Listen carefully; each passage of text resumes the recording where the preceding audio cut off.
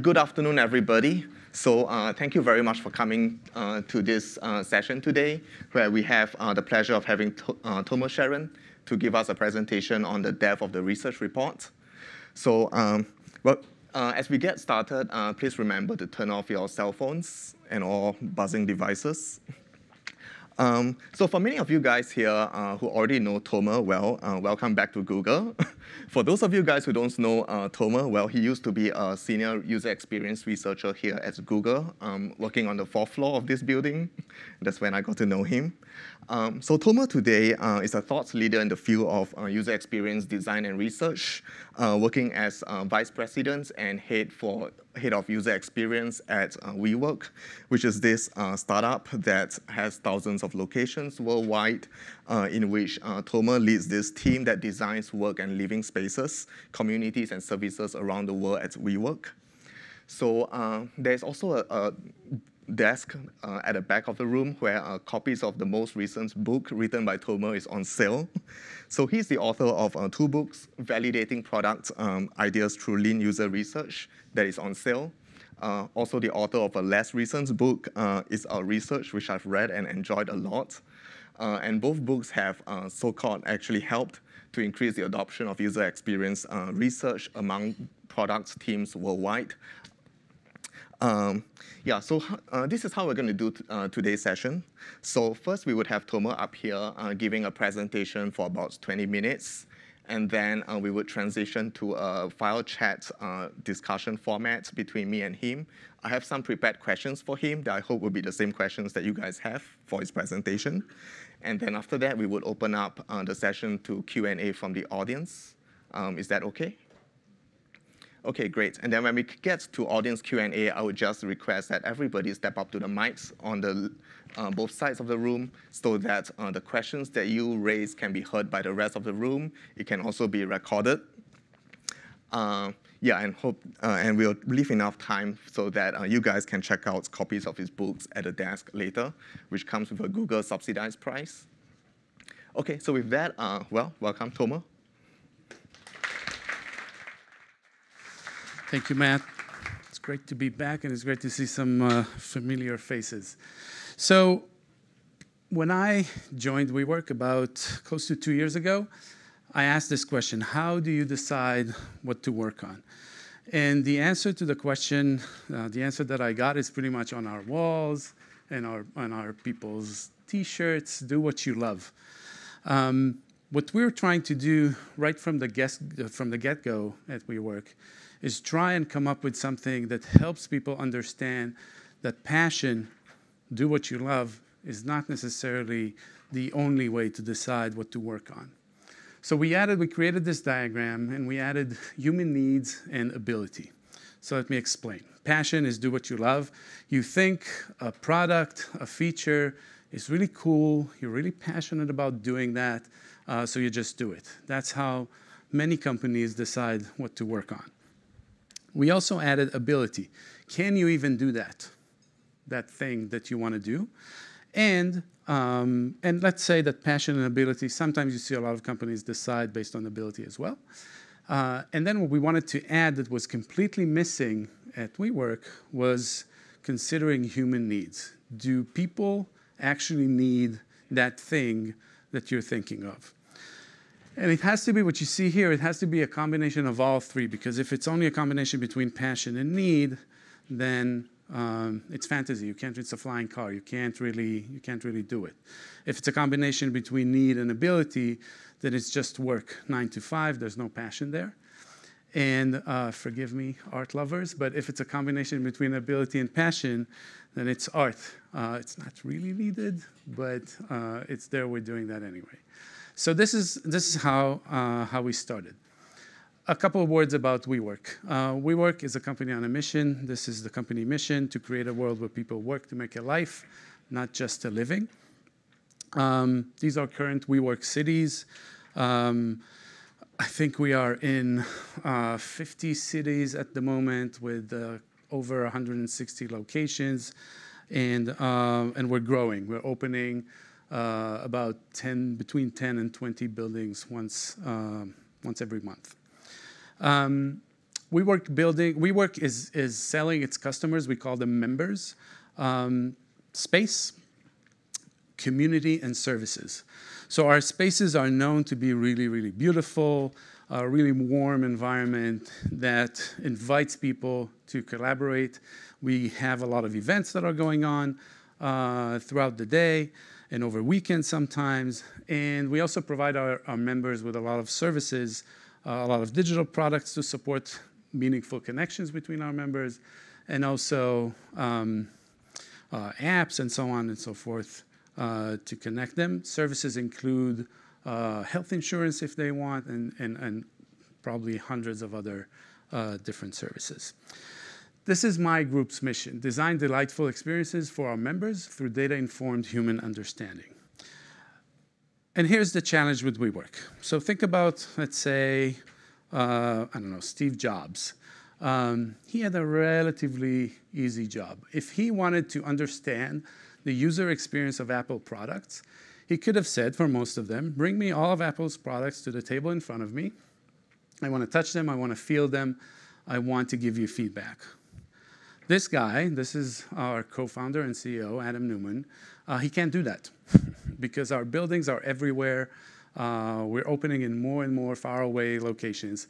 And it's really, really hard to understand what is the user experience, what is our members' experience. So from here, I jump to, to the research that we do. And here are three problems that we see with research uh, in companies. Uh, happens here too, happens in probably every company that does research. So first is bad memory. We have bad research memory. Um, let me know if this scenario sounds familiar. Are there researchers here? I know there are some. So researchers, you don't have to say yes, but smile if it's true. Um, you want to do a research activity, some kind of a study, and then you, just before you start planning, you're thinking to yourself, hmm, maybe somebody else did it already, so let me ask. So you send an email to all of the researchers in your group, maybe in your product area, maybe all researchers at Google, and then uh, you ask, did somebody do research about X, whatever it is that you're interested in? And sure enough, by the end of the day, you get responses. Um, I remember back in the day, it could go up to 10 responses from people who say, yes, we worked on something exactly like that a couple of years ago. You don't get 10 responses for people who completely forgot they did it maybe five years ago. And then um, you're a nice person, so you summarize everything you read, you send back to everybody. I see some smiles, so I know it's true, still true. Um, and then you decide to do the study anyway because yours is a little bit different and you want to learn something a little bit different, so you decide to do that anyway. So we have bad research memories. The second problem is silos. Researchers are not the only ones who are doing research in a company.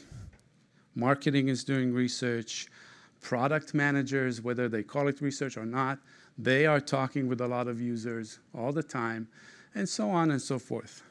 If you have a, if you have a call center, they don't do research, but sometimes they issue reports about the top 10 problems that they're facing, uh, that, that people are calling them about. This is also uh, a silo where this data is saved. So a lot of um, departments are doing research. Everybody's happy to share, but there's no one place to make sense out of all of that. And my pet peeve reports. Um, I'm pretty sure, although I, I, I, remember some exceptions here at Google, I'm pretty sure that there's not one person on the face of this earth that wakes up in the morning saying, I'm going to read a report today. Um, and being a researcher for many years, I don't even like to write them. And uh, I think reports are not what I call the atomic unit of a research insight. Again, researchers would tell you that you go into a research study, study and you have a short list of questions you want to answer. Those are the research questions. And then research is life. You look at life, and life uh, looks at you back and say, I have more answers than uh, your questions. So you find out more than what you intended to find. And then there's the report. So you are, as a researcher, you have a dilemma. Should I report answers to the research questions that we were interested in? Uh, or should I report that plus a lot of other information that I found? Uh, there's no rule about that, so any researcher does whatever they think is right. Uh, in any case, reports are not really atomic. There's a report that might include a piece of information that has nothing to do with the reason for running this uh, specific research study, and yet it's an important insight that might serve people in the future, but it's buried in the report. So I'm aware of this, these problems for many years, and uh, as soon as I joined WeWork and was asked to start a group from scratch, there was not a lot of research going on there at the time. Um, I thought this is an opportunity to maybe solve all of these problems with this system that we called Polaris. So Polaris uh, is a way for, um, I call it democratize the user experience. Uh, I, I, published a Medium post about that, and somebody responded saying, "You're not really democratizing. Why do you call democratizing user experience? You just it's just a research archive." So yes, it is a research archive, but uh, this uh, the research archive is the uh, the output. Democracy for user experience is the outcome, and that's really important. What's happening with Polaris is very interesting. Um, First of all, Polaris is a system that gathers all of the research that, uh, that is being done at WeWork. And it gathers that in a different, very different atomic unit than a report. I'll get to that in a second. In any case, Polaris is helping um, anyone at WeWork who is designing anything, who is building anything, who is affecting the member experience to prioritize their work. And I'll give you an example for that very shortly. Um, to educate themselves. I know um, that teams at WeWork, as teams here, and again, researchers would, would know what I'm talking about, are not waiting for anyone. They're not waiting for a researcher or for a report or for a study to end to decide what to do or to decide what to work on. That said, they are happy to learn and educate themselves about what they decided to do already. So Polaris is a system that helps educate these teams about what they're working on. And lastly, if by any chance there's a team who's looking for a project, Polaris can help allocate or assign teams with different projects. All right. When I talked about the atomic unit of a research insight, this is, this is it. Uh, we call it a research nugget. And uh, we just celebrated uh, a, a, little while ago uh, 5,000 nuggets entered to Polaris in a chicken nugget meal. Um, so what's a nugget? A nugget is a tagged observation supported by evidence. Okay, tagged observation supported by evidence. I'll explain. Observation. So observation is something that we learned during a study. We saw something, we understood something, we understood why it happened. This is an observation. So we just type it down. This is what we found, and this is what explains it. Evidence. There has to be, there's no nugget. Nothing enters Polaris without evidence. It's not about the opinion of anyone. There has to be evidence, proof that the observation is true. Is true. That could be um, a short video clip. It could be 10 seconds. It could be a minute, something like that. It could be a photo. It could be a screenshot of an email. It could be a document. It could be whatever it is, whatever media, but proof and evidence to, that what we said in the observation is uh, actually what happened.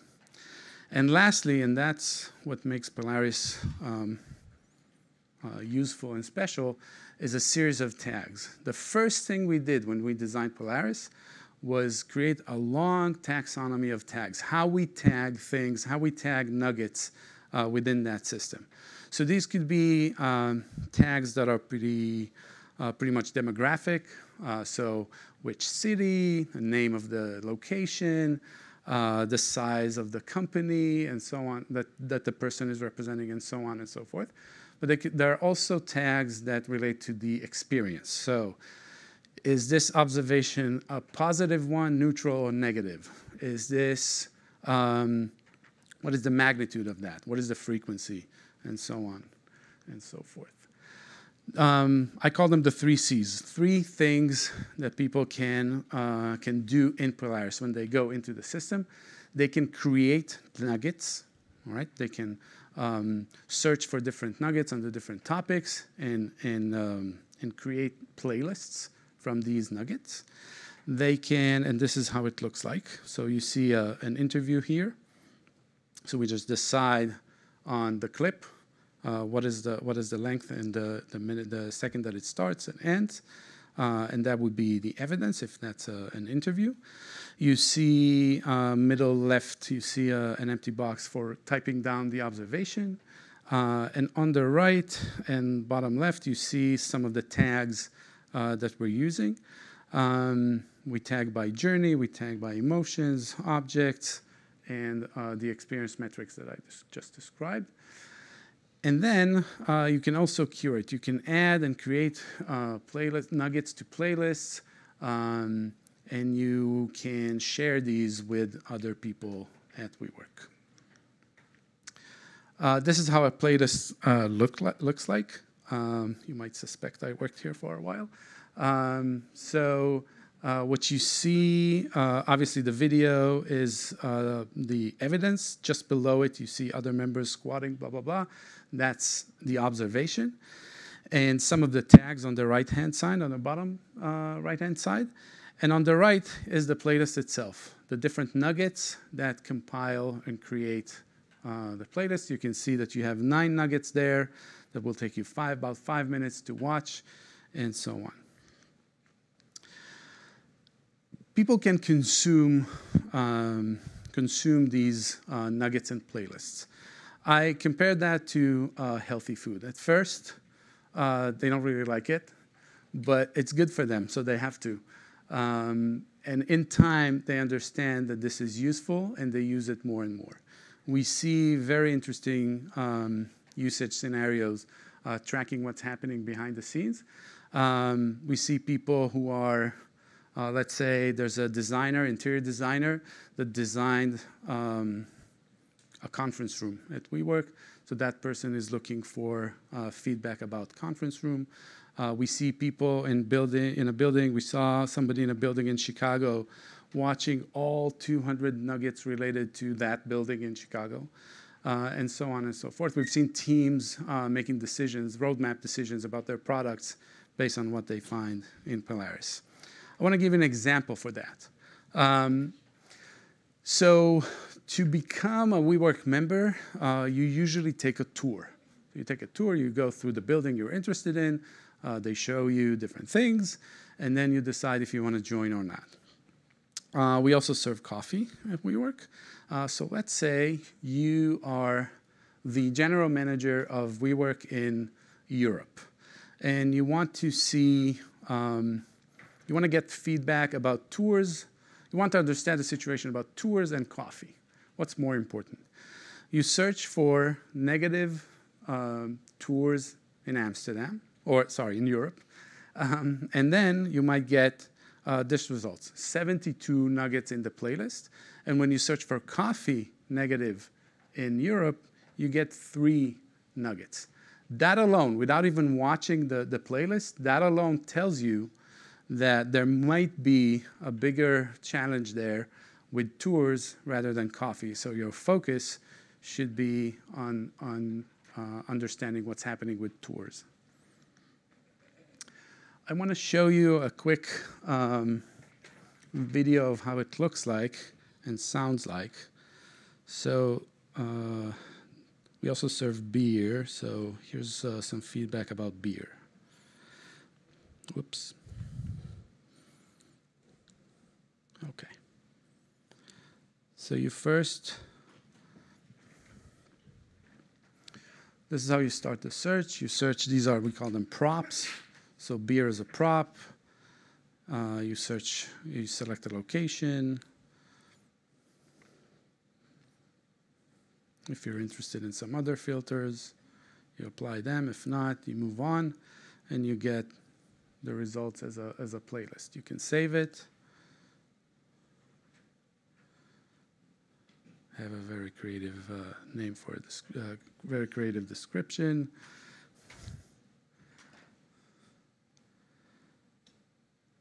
And let's listen to a couple of, uh, of nuggets. Uh, I mean, I love having it as an available option when you are doing a creative meeting at six o'clock. You go order beer, and sit down and have a beer and talk creative stuff, and that's amazing. Right? That's a phenomenal part. But Not everybody likes beer, though, or the fact of having beer in an office. internet was noisy, and then I think, you know, not everybody's twenty. So if I'm having people come up and, you know, yeah, it's a cool space and everything, but, you know, having kids drink beer and all that crap, it's fine, but I think there's a whole other niche for a little bit more sophisticated, uh, opportunities for people in that, in that sector of the business. right. So this is how it looks like and sounds like. I obviously p- picked uh, audio not to expose uh, the identity of those people. Um, you can also watch a list, um, a playlist as a list, not just as uh, as uh, videos or photos. And ah, of course,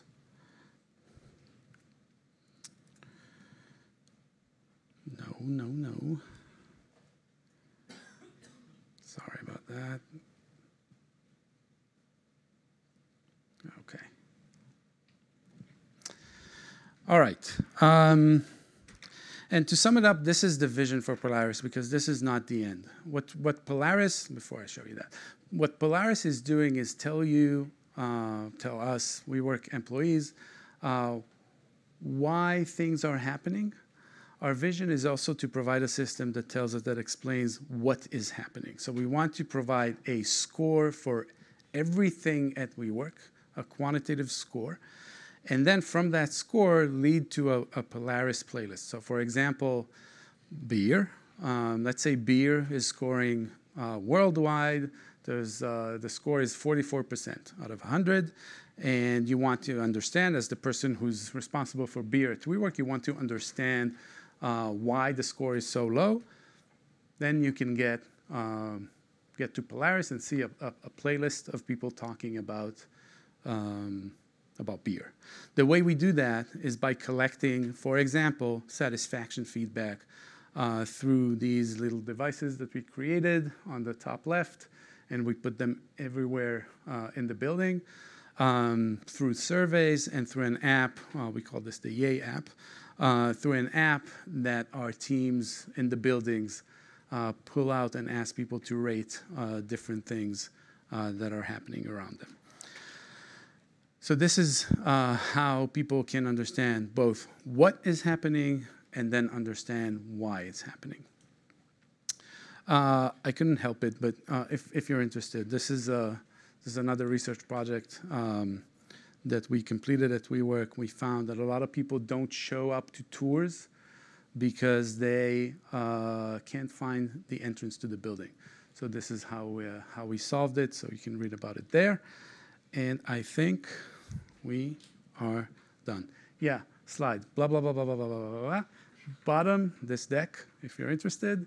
And second to last, if you want to start it on your own, just check it out and see if this is something that you can do. We created a, an Airtable template uh, for Polaris, for designing your own Polaris. So feel free to, um, to use it. Um, I think that's it. Thank you.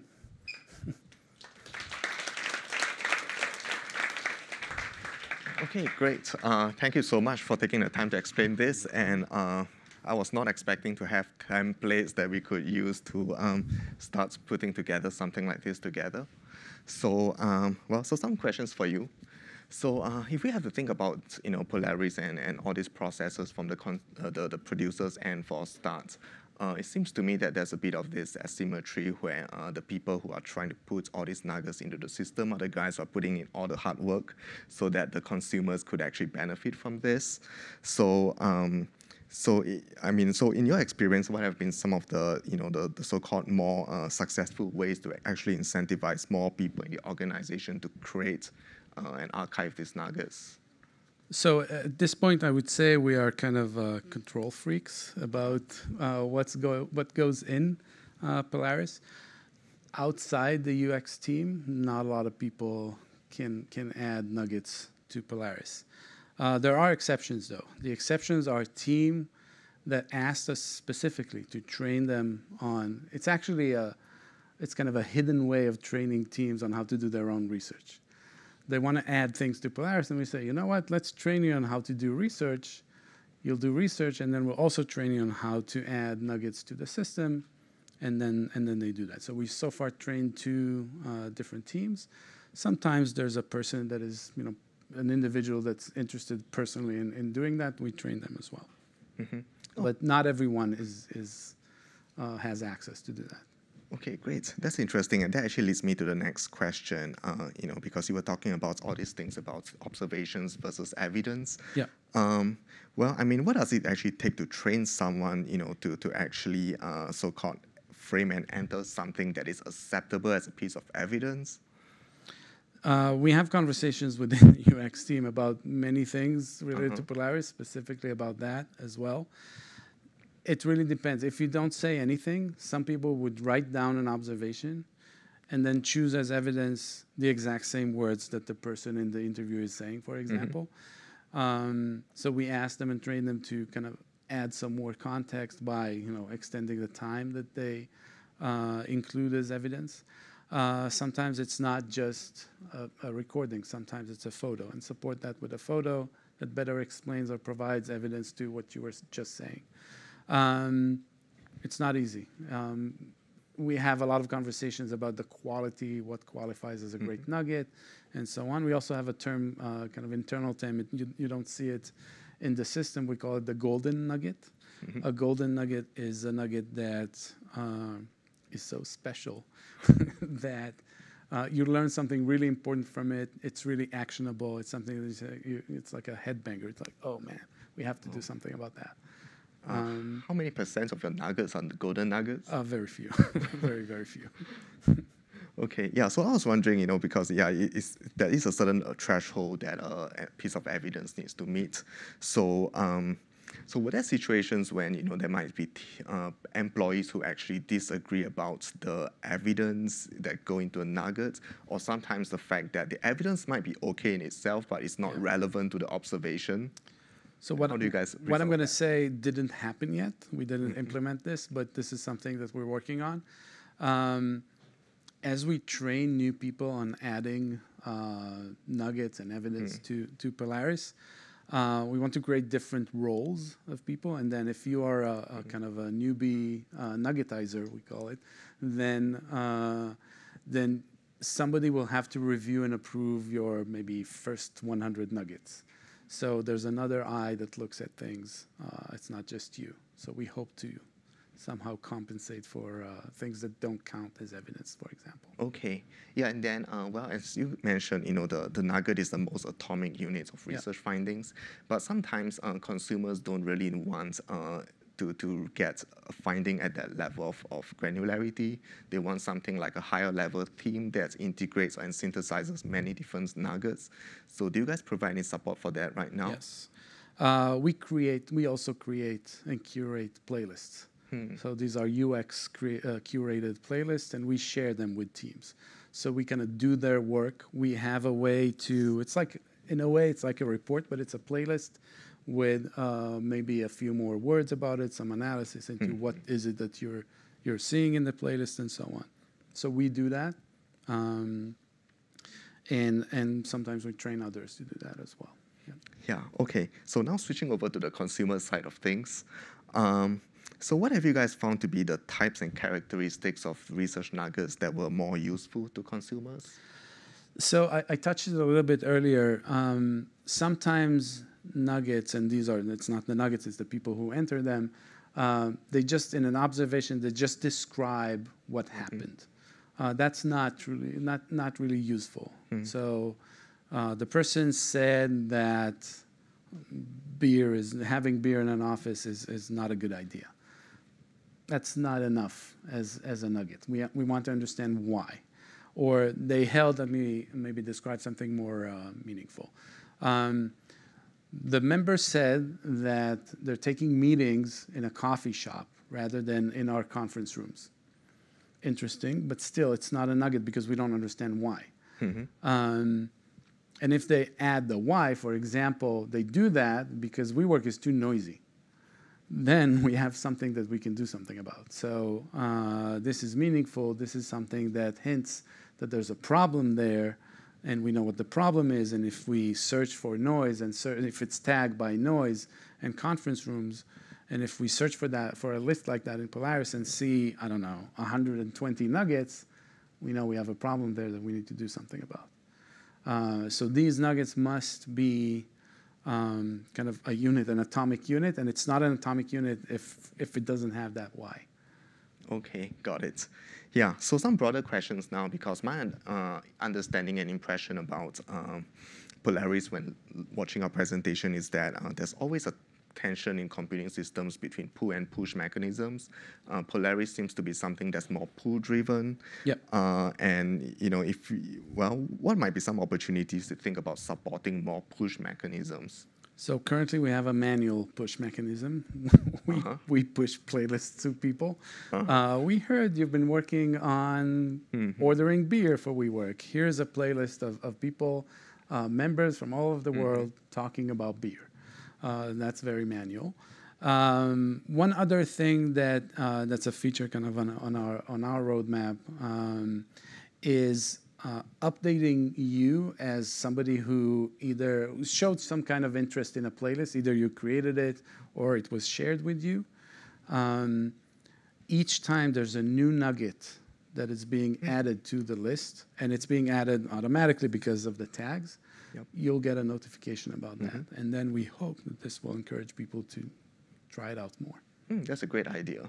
You know, and since you're talking about tagging, um, I was wondering when you guys were designing Polaris, uh, besides the tagging approach, were there any other uh, considerations that you guys considered for other approaches to organizing the nuggets? Uh, no, not really. Um, the only thing we were not sure of, we it, it was very clear for us that this was an investment. So we wanted to be sure that this is working before we kind of make that investment. So we created that template that I shared. We created everything uh, with Airtable, um, stored everything on uh, the, the re- video recordings on YouTube, stored audio recordings on SoundCloud, and that was our system. Um, as soon as we saw the reaction to it, um, we decided, okay, this is worthwhile, and then we invested the time in um, changing all of that to a system that we can control and, and Okay, access. that makes total sense to me. Um, well, what are some of the challenges to scaling something like Polaris, and what are you guys doing about that? Um, so I would say there are two challenges that are kind of related. One is that it needs to be something that, that people at WeWork are aware of. because if they're not aware of it, obviously they're not going to use it. And the other challenge is once they're aware and they search for something, they have to see, I don't know if you noticed the dates, they have to see nuggets that are relatively new. Otherwise, they think it's an old uh, database of, of information and they're not going to do anything about it. Although uh, we all know that sometimes, uh, even if you found something a year or two ago, it doesn't mean that it's old. It doesn't, doesn't mean that it's not true, but that's how people treat it. So we, our challenge is to keep it fresh. Um, and these are big, Okay. big challenges because to keep it fresh, it means that more people need to uh, do research and nuggetize that um, more and more. And that's something that we don't always have uh, time to do. And awareness is, is, again, always a challenge. We need to push and, and talk about it and mention it in every meeting. When somebody asks us a question, we shouldn't just answer. We should say, and that's what we try and do and remember ourselves to do. Have you checked out Polaris? Do you know what Polaris is? Maybe show them, and then they start using it on their own. Yeah, I mean, do you guys have, I mean, uh, at a system level, do you actually have, have a way to designate certain of those nuggets as golden nuggets so that they surface? It's just uh, jargon between Okay. us. yeah. Yeah. Um, so, what are some of the considerations around uh, personally identifiable information? I mean, I saw that you guys had to, uh, you know, just black out the faces. And that's that's only for the presentation, but Oh, uh, okay. yeah, uh, that's a, that's a challenge. I mean, we cover the identity Mm-hmm. uh, of the person itself. So the member, the company name is not. It, it's it's uh, kind of uh, encrypted through a Mm-hmm. code, and uh, the same for the the person's name. We don't even add it to the system. Mm-hmm. Um, that said, if you are, our people in the buildings are called community teams. If you're a community manager and you see a video of a member from your building, you would know them. Even though you have a thousand members, you would know them. So we are always concerned with people taking it the wrong way, especially if the feedback or the nugget is talking about you, the community manager.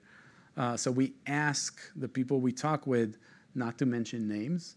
So just say, so we say, for example, if you have feedback about uh, your community manager, use that term. My community manager, don't use a name. Um, they don't always follow instructions, but we Uh, and what do you guys do about the evidence if they don't follow instructions?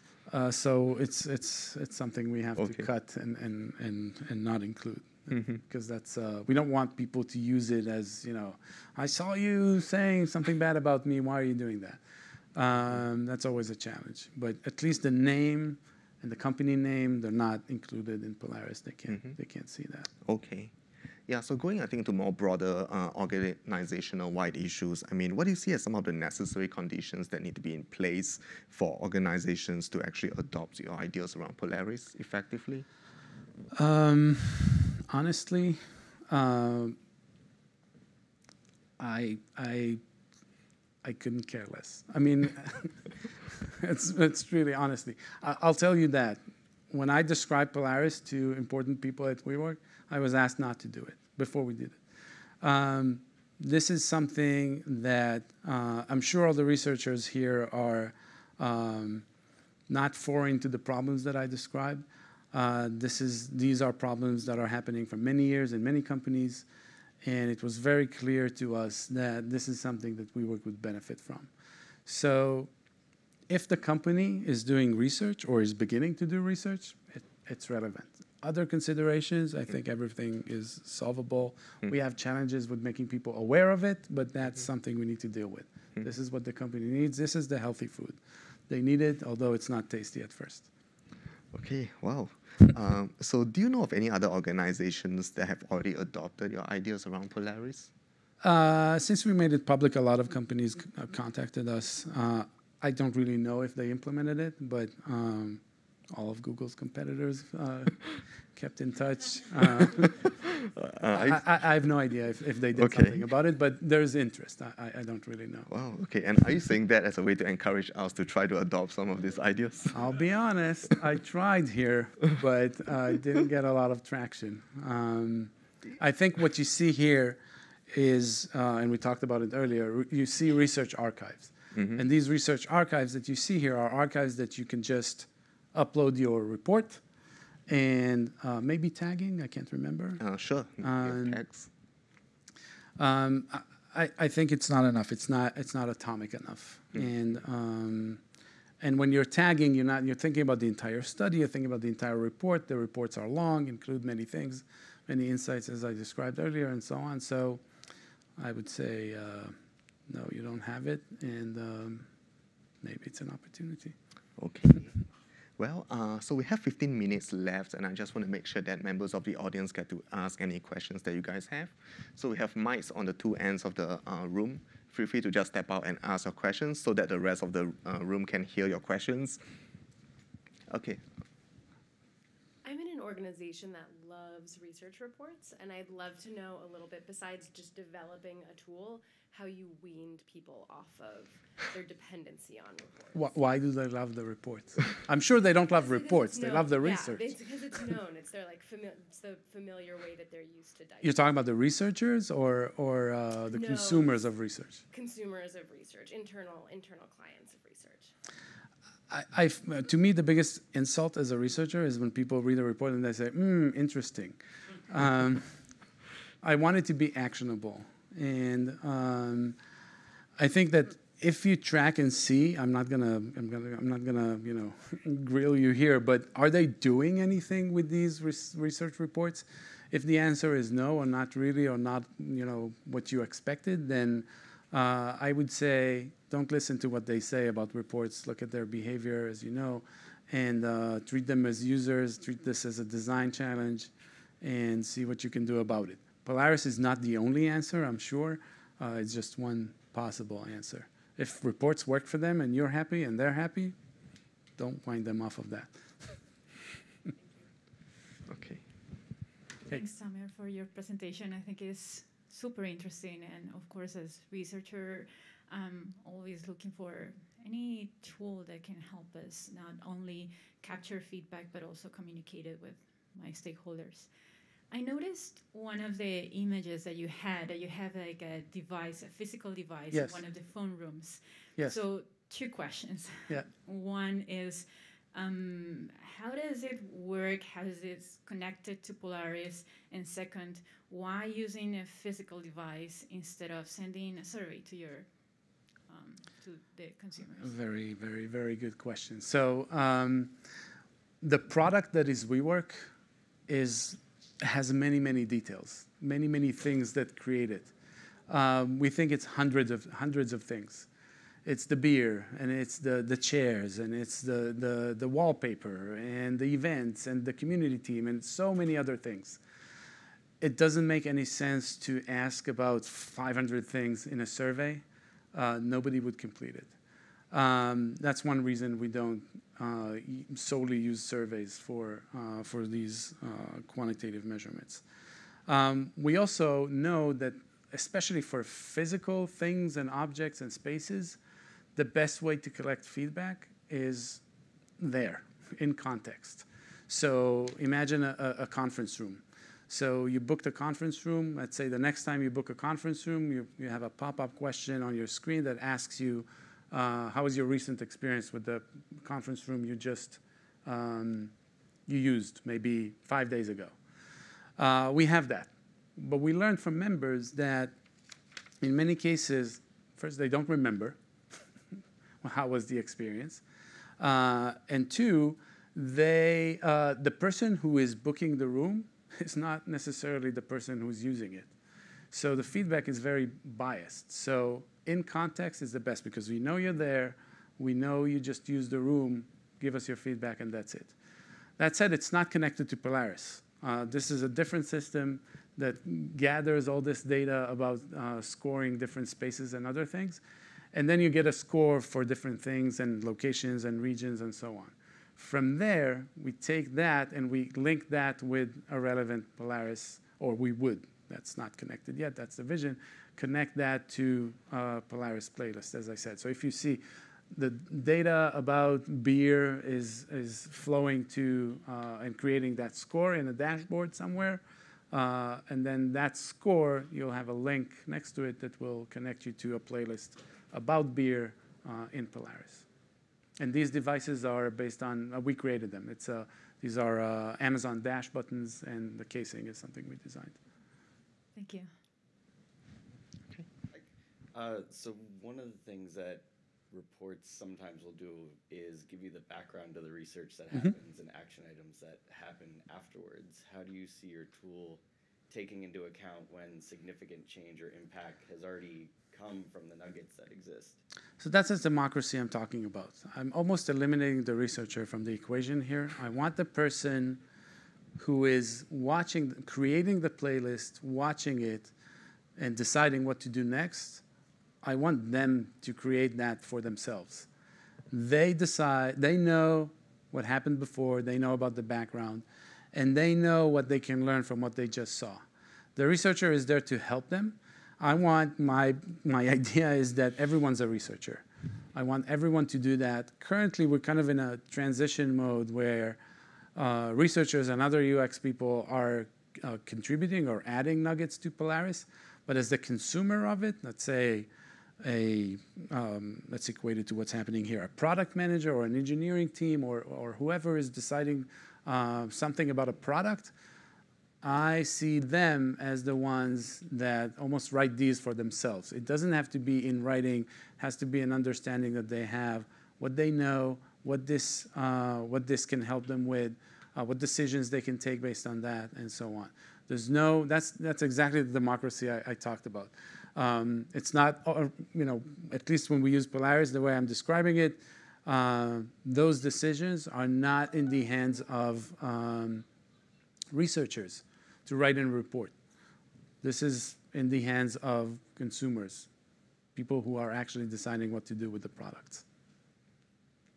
One quick follow-up, I guess, how Yeah. do you prevent duplicate research from happening at around or at the same time. So say if a community manager in Chicago goes through some nuggets and on beer and decides to take action based on those nuggets, and then a community manager here does the same thing, does it duplicate the work, or do you think they're just building on top of each other? So when it comes to what we call consumables, beer, coffee, and so on, it's not that every building is deciding, not always. Every building is deciding, deciding what to buy. It's being centralized, so it's not really about them. Uh, but if two different people decide to improve the member experience, that's a good thing. That didn't happen before, so that's a good thing. I don't see that as a problem. Consistency is not necessarily a must always. Hi, I actually had a similar question, and just a follow up. So I'm curious: Are can those community managers actually track that so they're aware of what's happening and what's Track, track what? The outcomes or actions taken based on the nuggets. Uh, not in Polaris, no.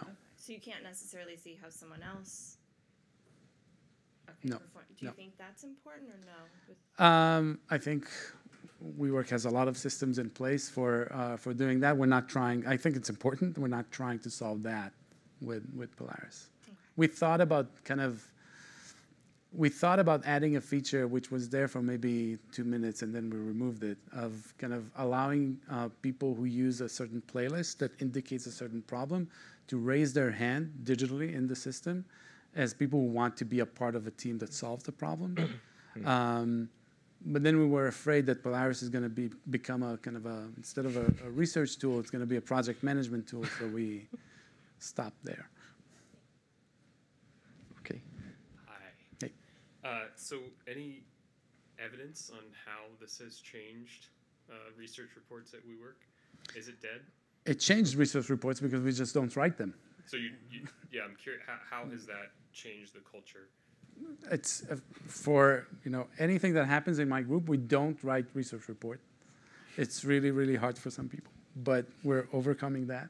Um, and instead of writing a research report, if we really have the urge, we just create a playlist. And then uh, if we want to add things that we would have added uh, to a report, we add it as a you know feature request for Polaris, and, and, and we make that happen if it's really really needed.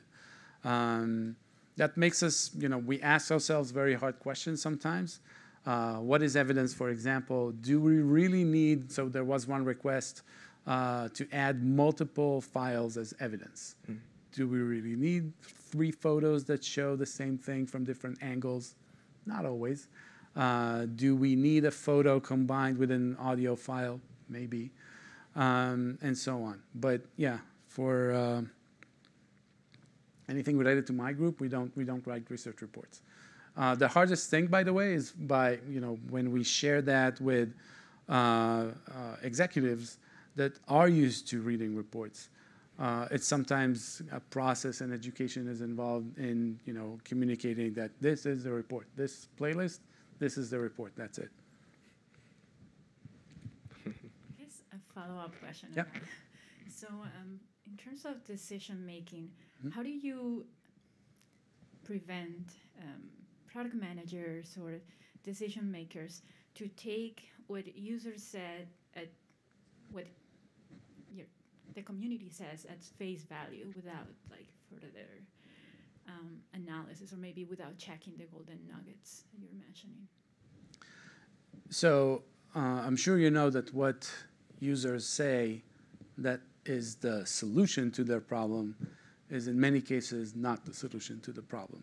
So we UXers know that, so we don't even include that in in uh, in the nuggets, so they won't see that. Um, it is a process. This is why we work with these teams. It is a process to teach people and mentor people on how to make sense out of a playlist. And uh, I should say, I mean, even for a, a very basic, um, I don't know, usability test, if you put people in a room or watch videos, whatever, who are not researchers, not UXers, never seen a usability test, they see videos of people using their product. After an hour of watching these, they will have uh, enough information to come up with decisions on what to change in the product, and these would be very good decisions in, in 99% of the cases.